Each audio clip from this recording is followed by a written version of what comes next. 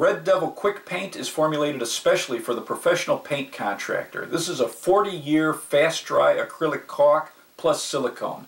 This has the fastest paint over time in the industry, just 30 minutes with latex paint, 2 hours with oil-based, and immediately with spray paint.